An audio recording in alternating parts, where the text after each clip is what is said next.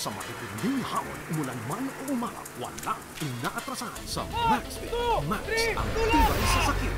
Walang panahong pinapalagpas para sa mga anak. Sa MaxFit, Max ang lakas. Walang pagkakataong di naglalambing sa asawa. Sa MaxFit, Max ang init. Buti na lang may MaxFit. May multivitamins, minerals, ginseng at royal jelly na bumubuhay sa Max na tibay, Max na lakas at Max na init na iyong kailangan sa trabaho at pamilya. Tibay, lakas, init with MaxFit.